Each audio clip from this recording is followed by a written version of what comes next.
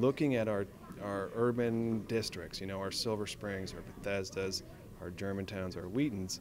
and applying all of these tools, you know, and whether it's sidewalk improvements or it's the benefit of changing some of the liquor laws or making the Department of Liquor Control work better or expanding public transportation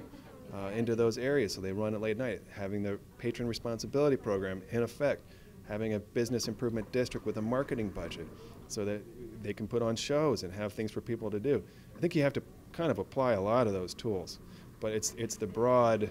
you know, thrust here of trying to